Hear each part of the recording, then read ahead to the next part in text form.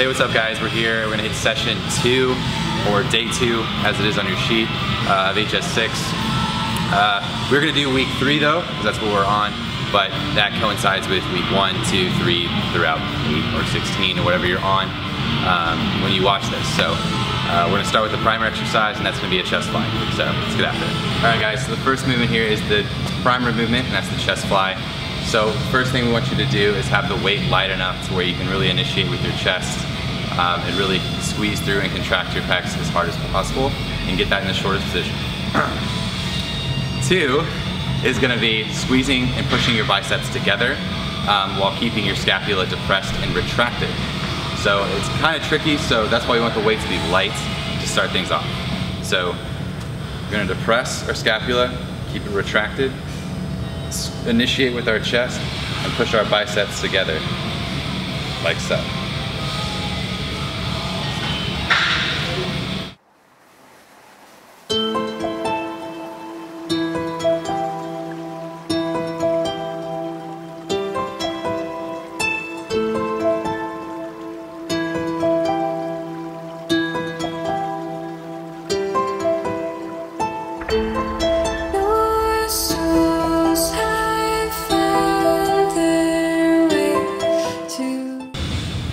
So a couple of tips for the DB bench press are going to be in the setup.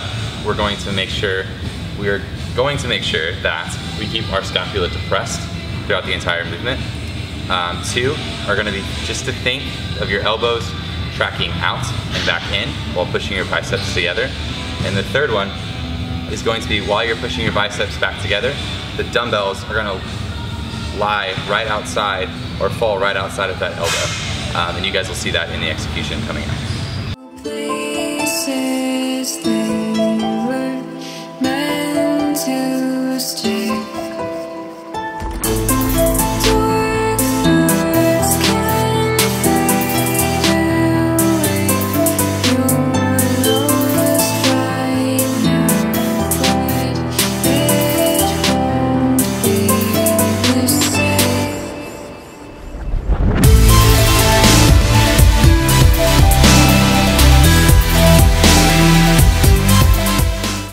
So this next movement is the seated horizontal row, and this is arguably the, one of the hardest on the program to actually execute and perform.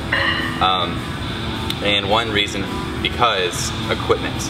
Um, so you kind of have to rig up your own bar or attachment per se. So all we do is find a fixed bar that is about the width that you'd want it to be.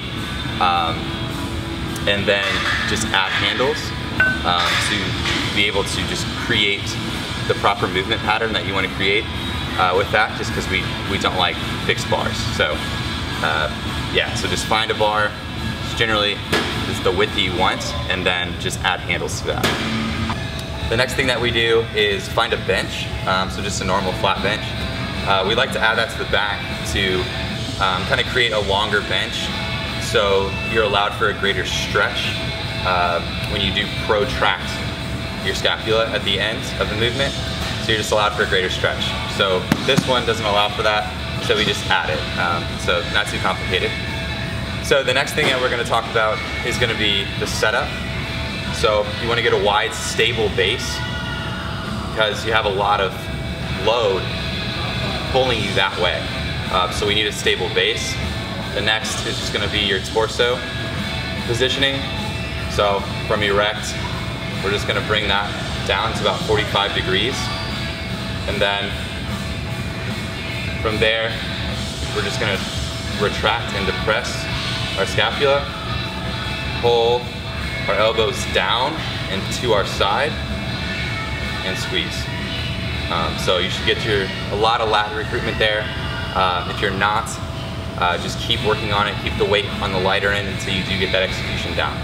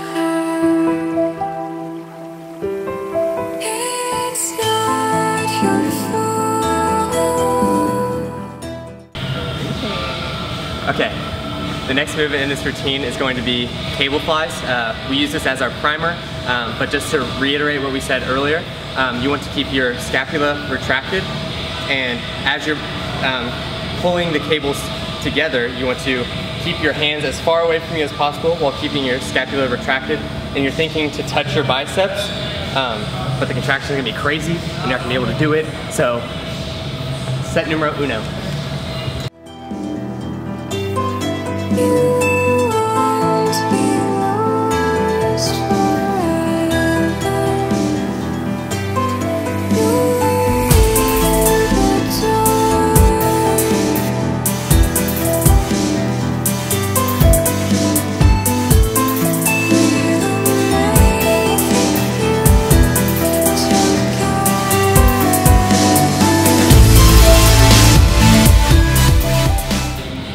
All right, so the next movement is going to be the DB lateral raise. So you guys have seen this all over Instagram and also our YouTube channel before, but just a couple tips is to keep that medial delt on top, and then we're gonna push out towards the walls on the way up.